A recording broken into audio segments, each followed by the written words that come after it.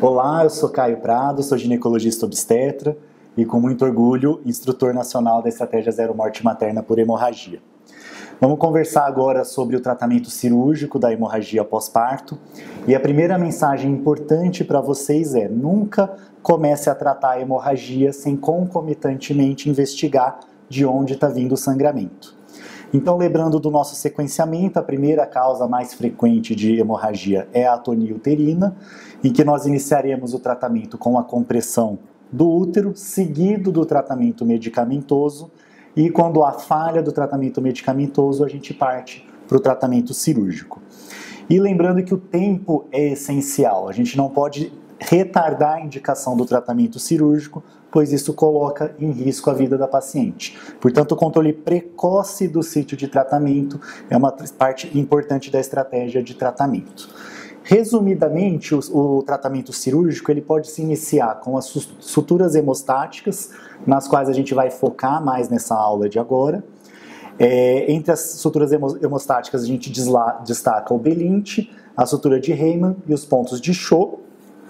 Numa etapa seguinte, ainda dentro dos tratamentos cirúrgicos conservadores, nós temos as ligaduras seletivas, a embolização e, quando partindo para o manejo agressivo, a esterectomia e a cirurgia de controle de danos. Antes de partir para o tratamento cirúrgico em si, é importante que a gente revise a anatomia do útero, a anatomia da vascularização do útero. A gente pode dividir útero em dois segmentos, segmentos 1 e segmentos 2, e o conhecimento da anatomia de cada uma dessas partes é crucial para escolher o tipo de tratamento. Segmento 1, setor 1, é a parte alta, o corpo e o istmo uterino, em que o, o, a vascularização vem das artérias uterina e ramos das, das artérias ovarianas, e o setor 2 vem de ramos mais profundos, das artérias pudendas, vesicais, vaginais e alguns colaterais direto da ilíaca. Ele é um setor muito rico em anastomoses, portanto, o controle de sangramento é muito mais difícil nesse setor. Aqui fica ilustrado para vocês essa figura de anatomia, em que o segmento 1, a parte alta, ele tem é, vasos vindo ali da ovariana e da uterina para irrigar todo o corpo, e aqui na região próxima do colo uterino a gente tem origem mista da vascularização. Quais técnicas que a gente tem dos tratamentos conservadores? A gente tem aqui no meio as suturas hemostáticas e nas extremidades as ligaduras seletivas. E o que, que é interessante a gente perceber? Com as suturas hemostáticas, a gente consegue resultados excelentes para setor 1, usando o Belinte e a sutura de Heyman, e para o setor 1, a gente tem um resultado excelente utilizando a, a, a sutura de Shaw. Então, indo em frente, quando eu vou fazer o tratamento com a sutura hemostática, é importante que eu teste se esse útero é realmente complacente para compressão. Então eu sempre comprimo esse útero para ver se ele é compressível e se isso ajuda realmente no controle é, da hemorragia. Se ele não tiver capacidade de contrair com a mão, se eu não conseguir trazer um certo controle de sangramento, é arriscado insistir nas suturas hemostáticas. A técnica mais conhecida de sutura hemostática, a, que a gente usa mais, é a sutura de Belinte.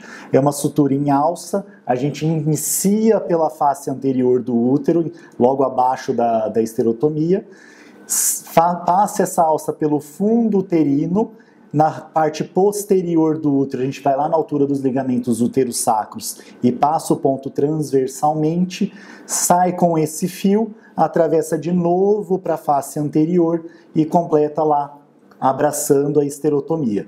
Nesse momento eu vou amarrar uma ponta com a outra, enquanto o auxiliar comprime o útero para dar o efeito compressivo.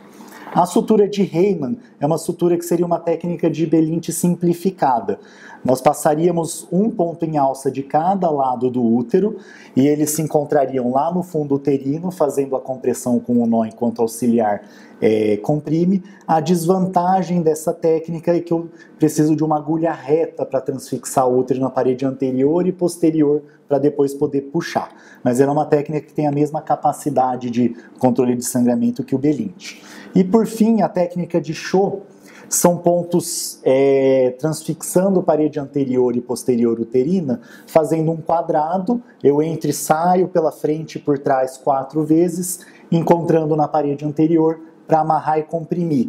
Ela é mais indicada para sangramentos focais, ela não é tão eficiente para é, situações de atonia uterina, mas sim para sangramentos ali por uma área de acretismo focal ou algum vaso que está é, com sangramento ativo. Tentei suturas compressivas, não atingi um bom resultado de tratamento, aí é o momento de eu partir para o tratamento da esterectomia. Geralmente ela vai ser a minha última etapa no sequenciamento cirúrgico, mas eu tenho que tomar um cuidado para não retardar a sua realização.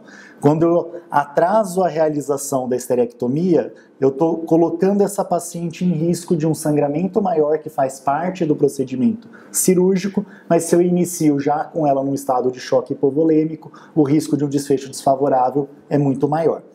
Então, minha, minha meta, o meu alvo de tratamento para esterectomia é quando eu não tenho sucesso com os demais tratamentos, mas antes que se instale a coagulopatia da, da hemorragia.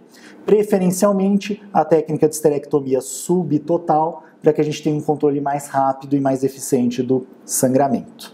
Então, relembrando aqui da, da hora de ouro, um atraso no início do manejo do sangramento e do tratamento efetivo do, do foco original de sangramento, ele aumenta o risco de mortalidade dessa mulher.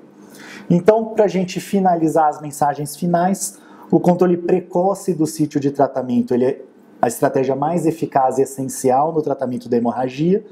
Os tratamentos cirúrgicos eles têm eficácia variável de acordo com a origem do sangramento. Eu tenho que individualizar a minha sutura hemostática de acordo com o tipo. Então, para hipotonia, eu vou preferir Belint e Heyman. Para os sangramentos ali de pontos focais e acretismo, eu vou para a sutura de Shaw. A esterectomia, ela é um procedimento importante, mas eu não devo retardá-la, eu tenho que realizá-la no momento oportuno. E lembrar também, quanto maior a agressividade do meu tratamento, maior a morbidade consequente desse tratamento. E mais uma vez, colocando que o tempo, ele é chave de sucesso para o tratamento da hemorragia pós-parto. Então, sempre controle no relógio para que a gente não retarde etapas numa insistência de um tratamento que não está dando certo. Muito obrigado.